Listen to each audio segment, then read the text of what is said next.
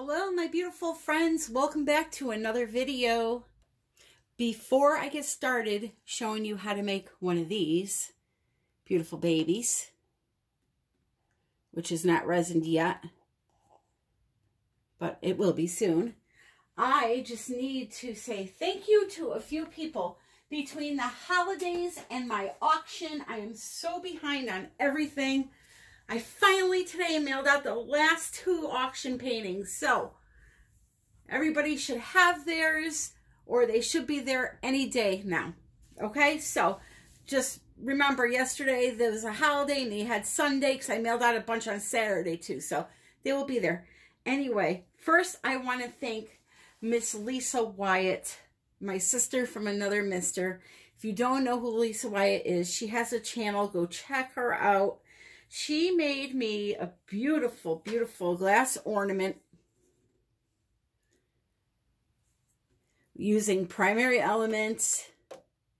And they are just, it is just stunning. The camera does not do justice for this bad boy right here. It's gorgeous, gorgeous. And she made me a couple of beautiful necklaces also a little sunflower. I don't know why my camera's having such a hard time focusing. It must be the ring light. And she would say it's a dragon eye. Probably I'm going to say it's a cat eye necklace. Oh, that's having a really hard time focusing because of the glare. They're absolutely beautiful. Thank you, Lisa. I also need to thank, really quick, Judy Sand for the light and for the donation. Thank you, my friend. Um, I had a live a few weeks ago and I caught the end of the name, the beginning of the name. It was Texas, maybe for me. Thank you for the donation. Kenneth Davis, Kathy Carr, Barbara Garnier, Susan Kane, Tracy Boyd, Sandy's Serendipitous Things, Bunny Hart, Patty Puckett, and Christina Welsh Art. Thank you from the bottom of my heart. I truly appreciate it. So it, it has just been crazy, but finally I'm back to where I have nothing on my table except art to do. so what we're going to be doing today are the five interferences from Color Art. They are called Bling It. I have the link below with a 20% off coupon. If you have not seen these babies in action, please check out my earlier videos. Here is one that has one coat of resin on it and you can see how they light up that beautiful oyster shell, um, abalone shell effect to them. So I'm going to be using all five of those with one golden color, okay? I am using the fluorescent red, my background is going to be black. And the black paint that I'm using comes from Walmart. And this is it. So we have Onyx Black and Semi-Gloss from Walmart, $18 a gallon. So that is what we're putting down first. I poured some out of the can into the cup this big cup, I believe this is approximately 16 ounces. I added three ounces of water to it just to loosen it up a little bit, okay? My colors are mixed with three parts Vivid Enamel and two parts polycrylic.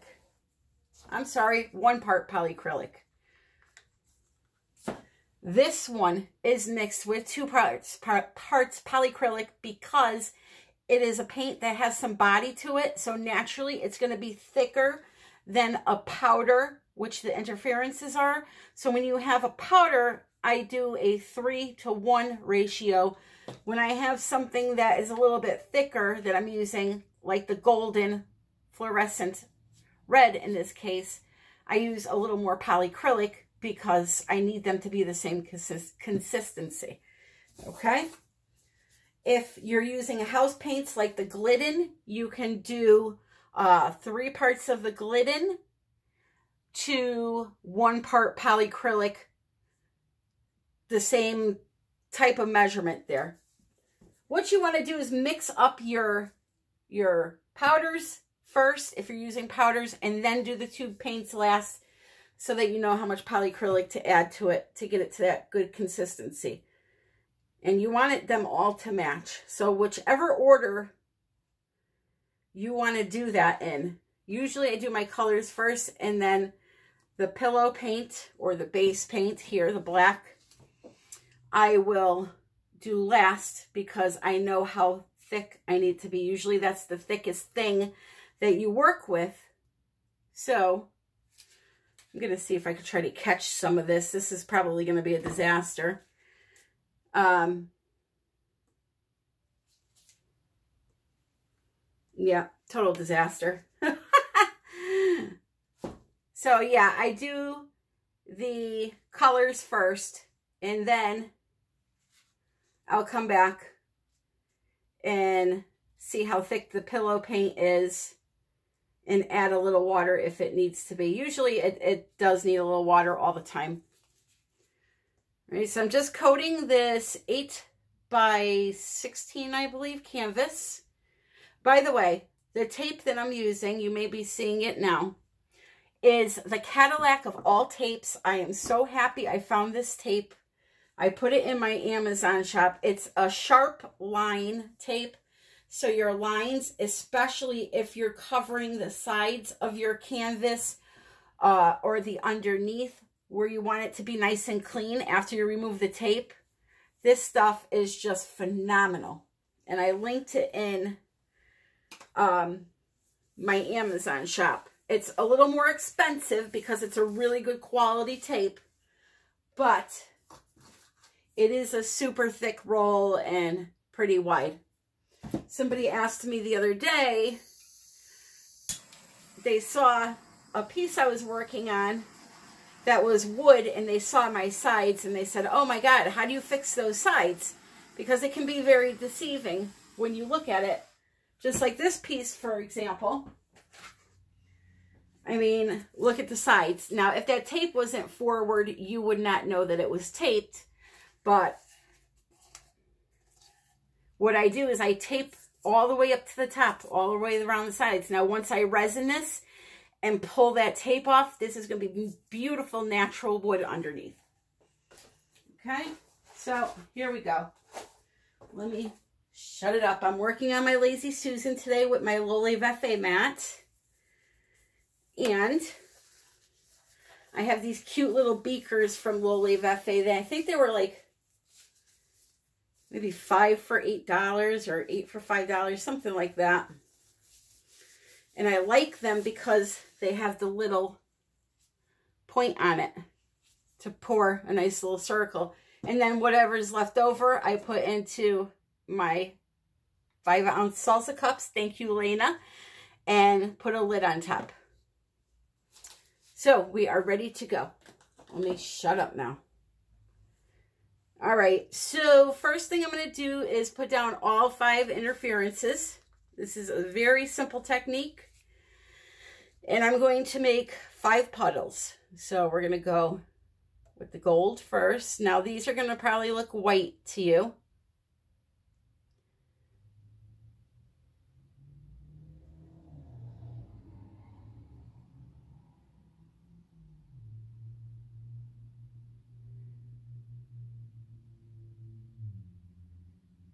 Probably could have went a little further apart.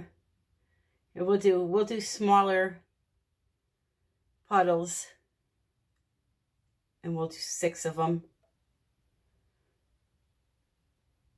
Or seven, I mean. Well, I'll definitely be falling on my face blowing this. All these uh, puddles. Meant to go a little bit bigger, but it is what it is. Stop dripping. I'm try to speed it up a little bit here. Jeez. Be a great grandma by the time this is done. Okay. So that's the gold. And of course I spilled. And now what I'm going to do is I'm going to pause you guys because this is just repeating. I'm going to do the blue, the green, no, the blue, the violet, the green, the red. Okay, so I have all five interferences down. Gold, blue, violet, green, red. They probably all look white to you. Again, you're not going to see anything really until I bring the camera down. So now this is my fluorescent red from Golden. I'm just going to put a nice serving. I hate these cheap gloves. I hate them. I hate them. I hate them. A nice serving of the little, of the uh, fluorescent red right in the center.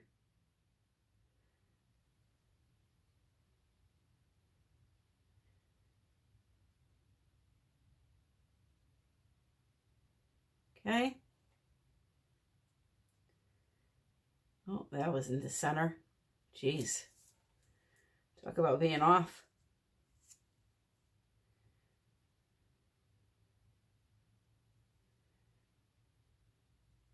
Okay.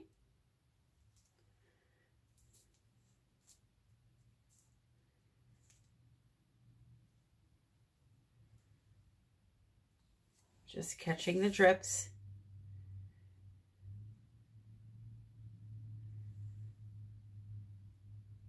This is a really simple one to do. I hope you guys try it.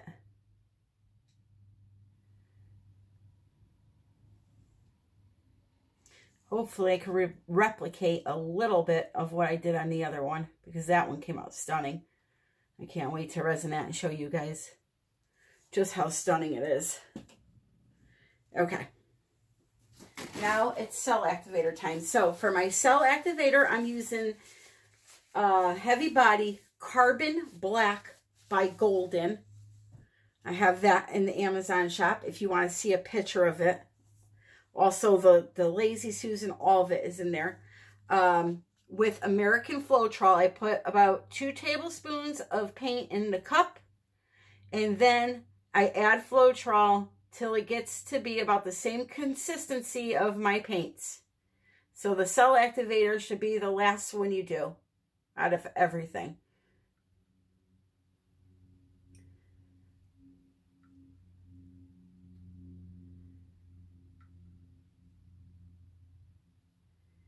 Okay, that's plenty. And here we go. Let me just move this back a little bit so I can hopefully reach it with my face. okay, you guys can see. All right, first I'm to go this part, this half of them up and then spin it around and do the bottom half.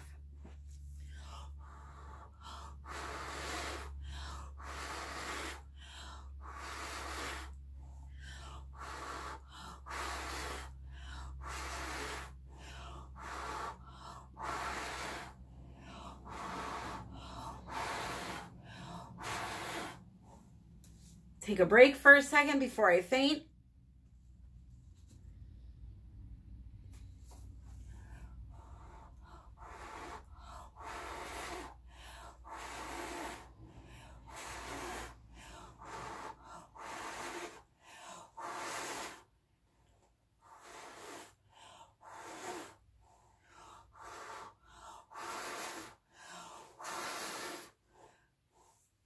Okay, we're going to go around this way.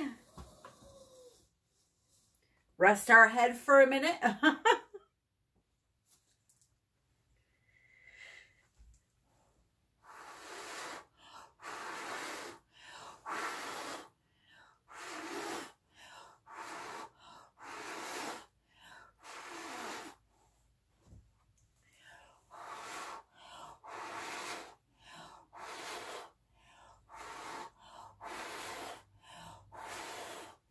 It's a lot of blowing.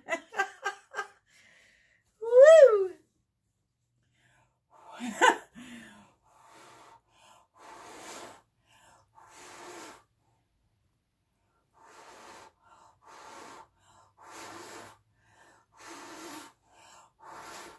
And I don't want you to worry about these centers too much if you see a lot of black staying there because I have a trick for that.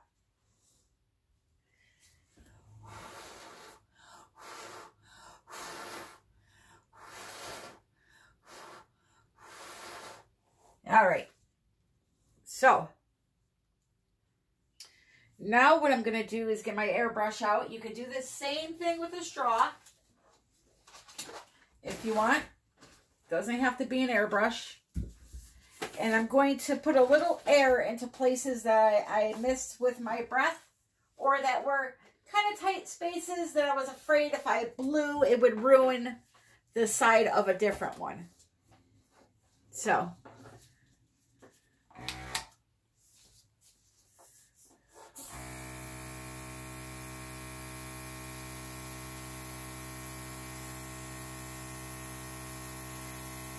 you give it some air from up above and come slowly down, you'll get some cells to form. I don't want to mess with this too much because I love it. I absolutely love it. So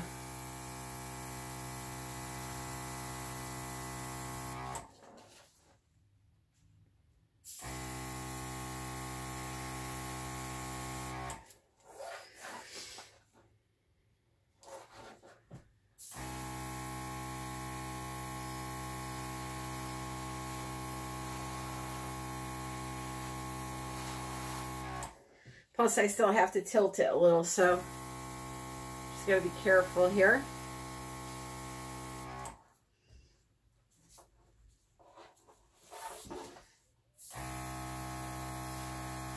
See where I dripped? Now that's a big pain for me because I love that right there, but this drip is in the way.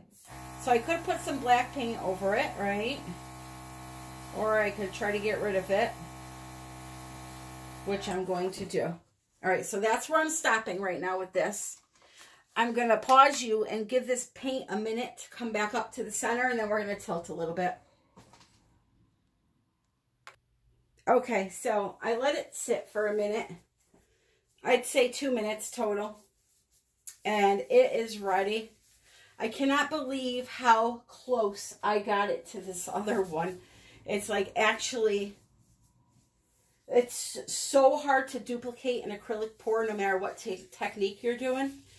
But it like literally came out exactly the same. So that's a good thing. So now I'm going to tilt a little bit this way first. You have to get some of this paint off of the canvas, unfortunately. Not that I want to, because it's very beautiful. But we have to. I'm going to try, try, try my hardest not to lose too much.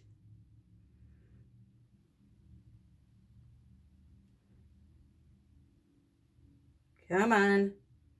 Of course, I have this one bloom giving me an issue. Okay. Now we're going to go back up.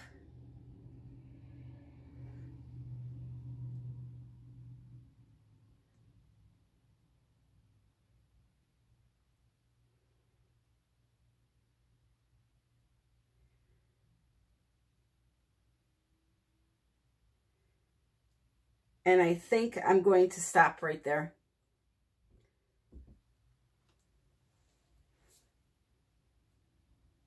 I think I am going to stop. I'm going to try to get some of this color here up.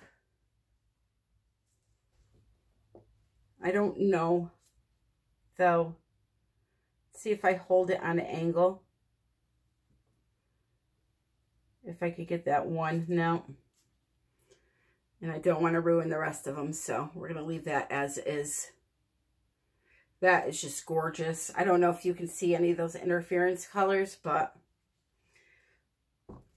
Child. Mm-mm-mm. So I'm going to give you a close-up really quick.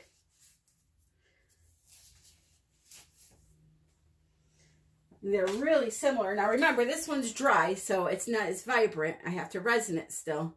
And this is a bigger piece, but very, very similar. I don't know if you even saw that. Very similar. There's one part that's annoying me here. It's this corner, but the good thing is, is there's some interference going over it. So you're seeing violet over the black. So I'm going to leave it alone. I'm going to leave it alone.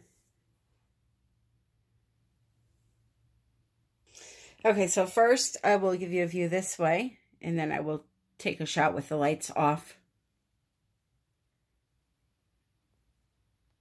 So the cool thing is, is even though I didn't add white, that interference has the look of white, yet once I get that resin and I start moving the picture on the camera, you're going to see that white is going to turn to gold. It's really, really magical. If you can get these colors, I really, really hope you can experience them because they are just magical for this type of art. And now I will give you the lights off view. So remember, we didn't add blue or purple or gold, green.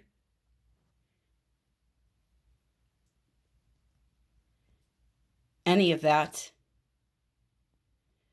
It's just the pigments at work.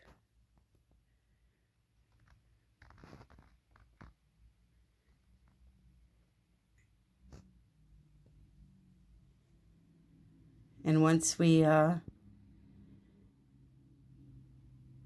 get that resin on there, bam, baby. so, guys, if you liked the video, please don't forget to click the word like. Uh, all the links that you need for uh, the products that I use that you want to try out are in the description of the video. There's a little arrow underneath the video, a little tiny arrow. You click on that and the description will pop up.